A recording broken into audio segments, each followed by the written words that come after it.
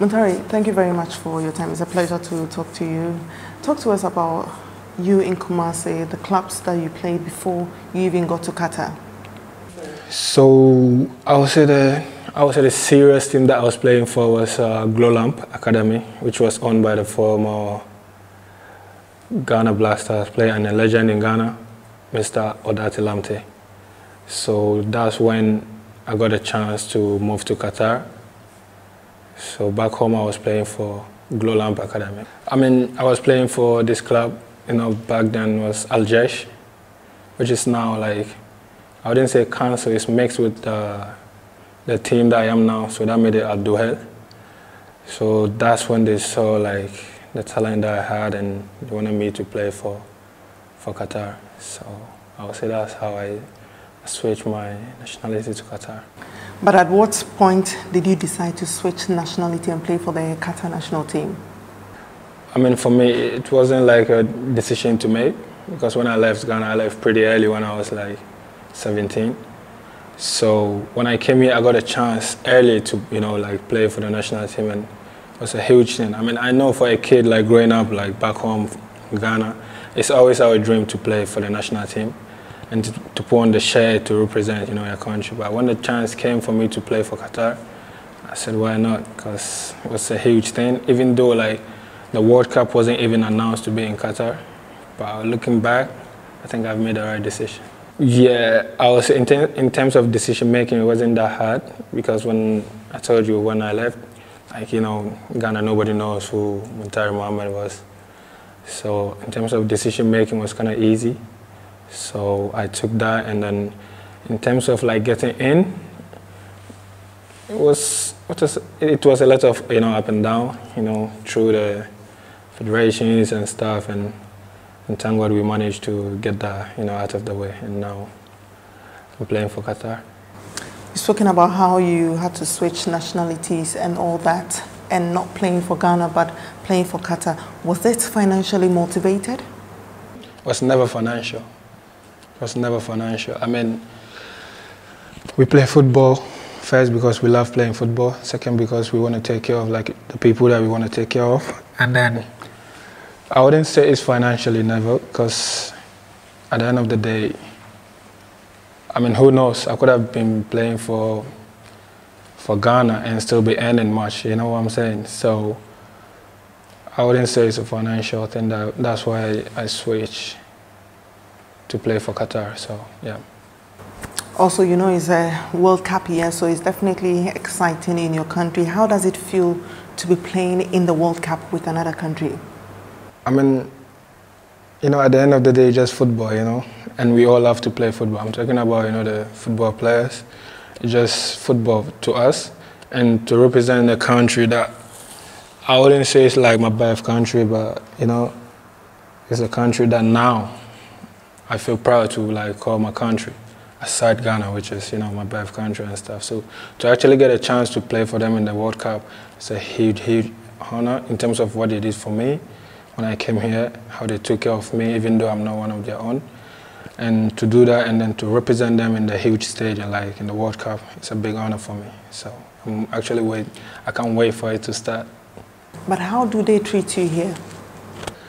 I mean, I mean, as a football player, we all know what's the worst thing to have during like your career is injury.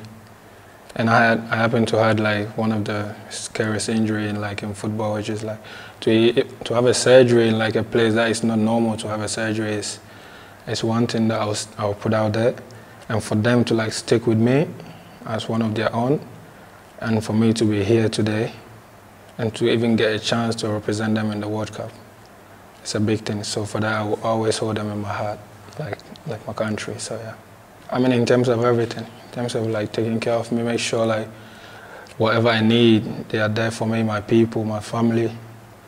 So I mean, for me, that's enough. If you can take care of my family, then it's a guarantee for me to like go a mile for you, you know, because for me, family always come first, and for them to do that is, I mean, I would do anything for them too. So. That's, that's a big thing for someone to do for anyone in this world, to take care of his or her family, you know, so, yeah.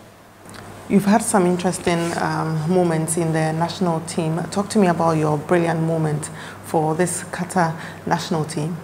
For me, I would say my first game for Qatar was a friendly game against Slovenia. I know it's a friendly, but for me to, on my debut, to score and then to actually win the game was, was something huge. And then recently, with the Arab Cup, when I scored, even though we didn't, we didn't pass the semi-final, but to score in the actually game and to see the fans like really enjoying it, that was one thing that was really huge for me, and even till today. Wish we like would have made it to the final, but that's football. Having a brilliant moment with the Qatar national team is one thing that I cannot describe because it's a different feeling.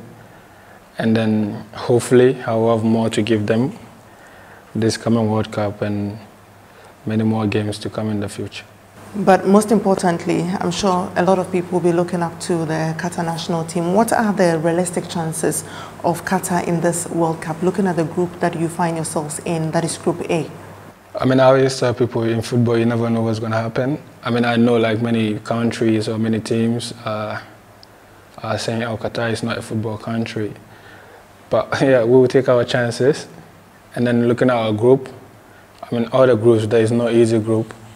So by looking at our group, I think, I think we have a very good chance of like going to the next stage. That's for sure.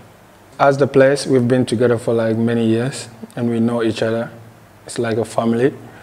So that's why I'm saying we got a fair chance. And then I don't know what other teams are doing, but I know what we are doing, how, how we are preparing for the World Cup. And for that, that's what I'm saying, like we have a fair chance to pass through.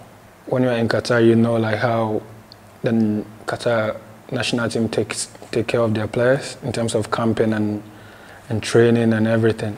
So as a football player, there's there's nothing you can ask for except for like you know good facilities, training, and then I mean I know many people have been in Qatar. They've seen like the facilities here preparing for the World Cup, and for us to actually be part of the players who are actually training in the in those facilities and them taking care of us like each and every day. So looking looking at that, I would say yeah, we, we really do have like a good chance to to qualify. And you know, we can't talk about the World Cup without talking about the Black Stars, um, your country of birth. What do you make of the group that the Black Stars are also in and their chances as well? Yeah, I mean, the funny thing is I always watch Ghana's gig. I, mean, when Ghana is playing, I'm always watching with my friends and we always having a debate, you know, like, I mean, Ghana is my birth country. I still love the country. You know, I always go there like in the summer and then every chance I get, I go home. So like looking at the group that Ghana is in, well, one thing is for sure, I would never count Ghana out, like in terms of anything. Even if the team is bad or good, I would never count them out. So I'm hoping and yeah, praying that it, Ghana will pass through that group, even though it's not an easy group. So yeah, and then Ghana can get revenge on Uruguay. so. You've spoken about how you love the Black Stars, but why didn't you play for them if you think you love the national team so much or if you think you love Ghana so much? I mean, you know, you, I mean, that's life, you know. Sometimes you have to leave your family to go to, you know, to be part of other, other family, you know what I'm saying? Because of like circumstances and what happened like during the way or something. So I still love Ghana. Ghana will always be my country and, and I still have them in my heart no matter what.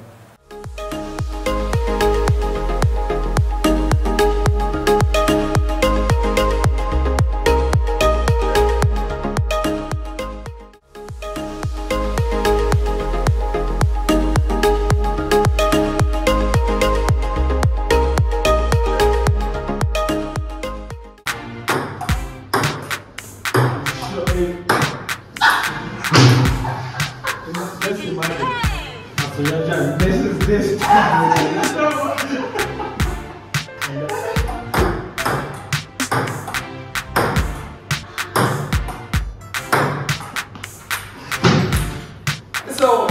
what's the score like? Yeah, three uh, one. Against who? Oh wow. Yeah. I need to. Yeah. Really, you kind of be No, at this point you're.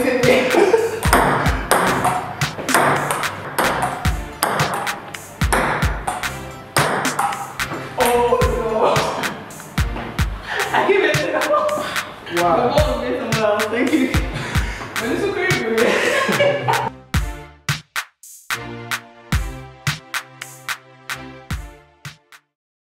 aside what Qatar wants to achieve with this World Cup, the reason why you guys have been um, preparing so hard throughout the year, what do you want to achieve personally? First, I want I want Qatar to go as far as the we can, and then football is football. Anything can happen, you know. I can sit here and promise, oh, I want to achieve something, and then it's not going to happen. But for me, one thing that I really wish for, and I know it's not easy, is for Qatar to be in the final of the World Cup. And then, yeah, that's that's all I can wish for right now in terms of this World Cup. And aside, maybe play play against Ghana. Maybe play against Ghana. Yeah, yeah, that would that would be nice. That would be nice.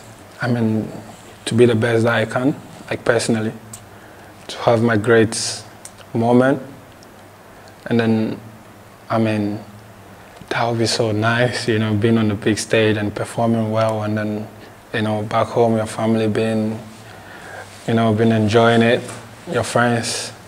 So for me, that's, I would say that's two things, to perform on the big stage. First for my family, and then second for my friends who have been with me like almost all this journey. I know it's not easy for them to like, you know, being together always and, you know, because most of them came here because of football and then, you know, and then to actually be by my side every single day you know, through this journey and then sometimes pushing me even if I don't want to do something. So I would say just to be there at the World Cup, which I've been dreaming of, to make my family and my friends and my loved ones happy. So Qatar is just um, over 2 million people, but you have a lot of people coming in because it's World Cup and you have to welcome a lot of people. Over 3 million people will be joining you here in Qatar. Do you think Qatar is ready for the culture shock that they are going to receive during this World Cup? I mean, we have been ready since, ever since like we got a chance to host the World, to host the World Cup. We've just been ready to receive every each, like everyone who is coming here. We are so ready to like, like to accept everyone. You know, like different countries, different cultures. I mean, as I told you, I just can't wait for people to actually see like what Qatar is. Because people outside think, oh, Qatar is well cultured because of, you know, it's Islamic country and then, oh, there are certain things that you cannot do here. But it's different. It's different. It's so like loving country. Like everyone who who've never been to Qatar and then the moment he steps his her foot here, like go back with a different perspective of the country. So for like, I don't know, 2 million people or like, I don't know, 4 million coming, trust me, they're all, they're all going to go back and then say different thing about the country. That's for sure. And I promise you that. it looks like we can't we can't say anything bad about Qatar when you're around. Now I mean, I mean, no. listen, listen. That's why I've been here like almost all my life. Because this country is, is first is beautiful. The people are nice. I mean, life is so easy here. So, I mean, there's, there's nothing I can say about this country, actually. I mean, you can see from my smile, so. You've spoken about your love for Qatar and also the national team as well, but I want you to be honest with me and maybe honest um, with the people that will be watching this. If you get a chance to make this decision again, as in playing for Ghana or playing for Qatar, will you opt for Ghana or Qatar? Truth will be told, I would choose Qatar.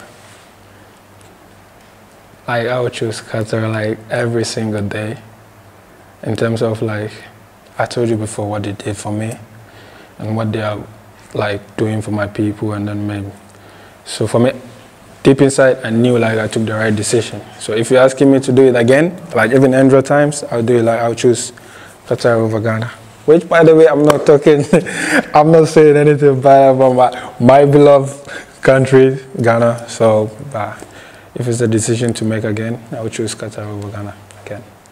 I just don't want you guys to think I sold my country and then went out to play for some, you know, some other country, which is not. I know, like on paper, it looks like, oh yeah, he chose, he chose money over his own country.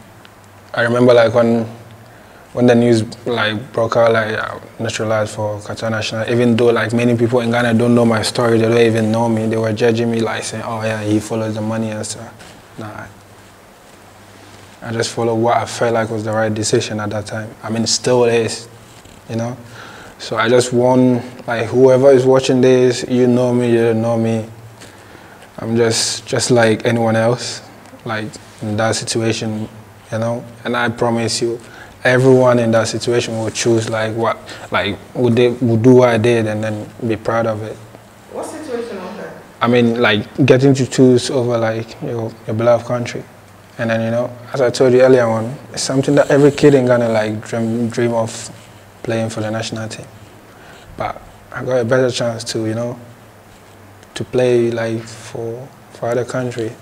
And then I took it and I, I will never regret it. Even though I still love my country, which is Ghana. But, and now I'm in the World Cup. Hopefully I'll win the World Cup.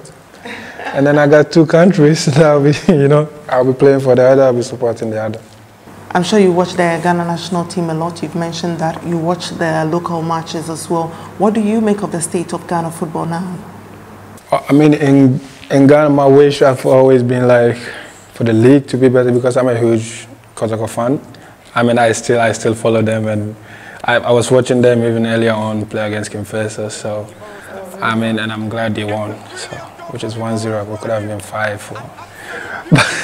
but for for the league to like actually improve, I think we always crying for the for this for like day one. We need sponsors in the league. They are like quality players in the league. If you're watching the league, sorry to say, I know people will say, "Oh, it's not, he's not playing for Ghana. It's not why is he talking about the league and stuff." But the pitches again, for a player, for for you to see the player's quality, you need a proper pitch to perform on it. So, I think the government, the GFA, and the football people can actually do do better, and we both know they can do better.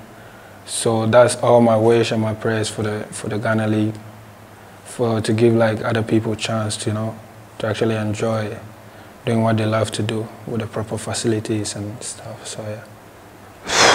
I mean, everyone have his different stories, you know, coming like maybe someone brought him, lied to him, like, oh, there is a team here that is looking for a player, and then, or Dubai, or I don't know, Kuwait, and so I mean, it all depends on like who you're dealing with.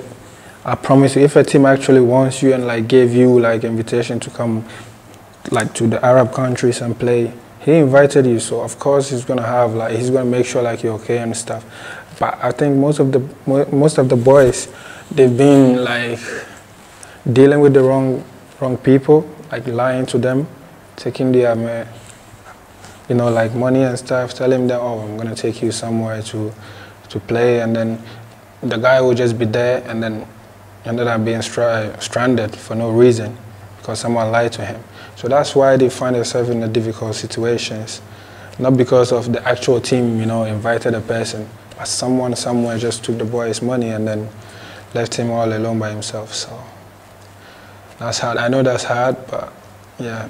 So before I wrap up on this, and with World Cup just a few months away, one thing that we all pride ourselves in is singing the national anthem. Can you sing the Qatar national anthem? We want you to do that. Why are you putting me on spot like this?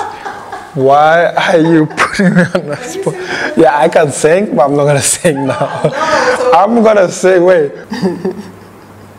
Wait. I'm okay. Okay. I know where this question is. I know how to speak the Qatar national anthem, but I don't know how to speak. I don't know how to sing the Ghana national anthem. No, don't worry about it. I'm just saying. Yeah, I know. no, I know how to sing. I know how to sing. We know it means a lot for um, Qataris, so kindly do us the honor. oh, you put him on the spot. Okay.